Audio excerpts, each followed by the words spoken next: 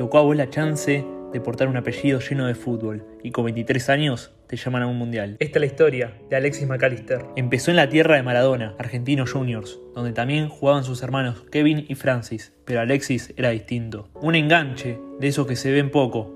Como jugador silencioso, pero con poco, se ganó el cariño y una transferencia a Boca. En el Ceneice estaba el pasado del nombre de su padre, el Colo McAllister, quien es muy querido, pero esta vez el pincel y el lienzo lo tenía Alexis, quien haría su historia. En Boca llegó a semi de Libertadores, jugó apenas una temporada y se tuvo que ir al Brighton de Inglaterra, la liga más difícil del mundo. No significaba nada para Alexis, quien lleva ya 86 partidos y 16 goles en ella. Un equipo que le dio la 10 y el timón para llevar a cabo el barco. Durante 2020 y 2021 fue convocado a la selección por Scaloni y de a poco se fue mostrando como un buen reemplazante. Gran temporada en la Premier, con el Brighton entre los 7 mejores, fue convocado al Mundial y ya hizo un gol.